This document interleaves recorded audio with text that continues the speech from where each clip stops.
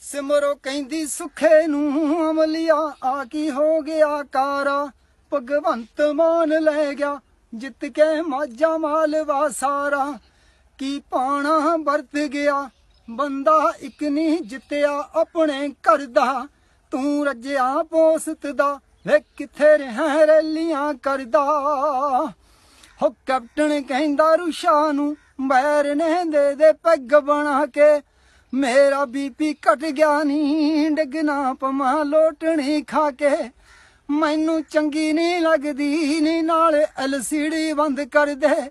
ਨਾਲੇ ਆ ਚੱਕ ਫੋਨ ਮੇਰਾ, ਨੀ ਕਿਸੇ ਖੱਲ ਖੁੰਝੇ ਵਿੱਚ ਧਰਤੇ। ਮਾੜੀ ਕੀਤੀ ਲੋਕਾਂ ਨੇ, ਨੀ ਦਿੱਤਾ ਲਾਇਆ ਆਪਾਂ ਨੂੰ ਚੂਨਾ। ਆ ਪੀਲੀ ਪੱਗ ਵਾਲਾ, ਨੀ ਲੱਗਦਾ ਹੈ ਜੇਲ੍ਹ ਵਿਖਾਊ ਪੂਨਾ। ਹੋ ਪੱਠਲ ਕਹਿੰਦੀ ਚੰਨੀ ਨੂੰ, ਵੇ ਹੁਣ ਚਾਹੁੰਦਾ ਫਿਰੀ ਪਠੋਰੇ। ਸਾਨੂੰ ਖੁੰਡ ਪੁਰਾਣਿਆਂ ਨੂੰ ਰਗੜ ਗਏ ਕੱਚੀ ਉਮਰ ਦੇ ਸ਼ੋਰੇ। ਤੇਰਾ ਇੱਕ ਨਾ ਚੱਲਿਆ ਵੇ, ਉਂਝ ਸੀ ਲਾਣ ਬੜੇ ਤੂੰ ਕਰਤੇ। ਹੋ ਵੱਡੇ ਥਮ ਸਿਆਸਤ ਦੇ ਮਾਂਜ ਕਹਿ ਡੋਲੂ ਵਾਂਗੂ ਧਰਤੇ। ਅੱਜ ਮਾਨ ਮਾਨ ਹੋ ਗਈ, ਓਏ ਹੋ ਗਏ ਵਿੱਚ ਦੁਨੀਆ ਦੇ ਚਰਚੇ।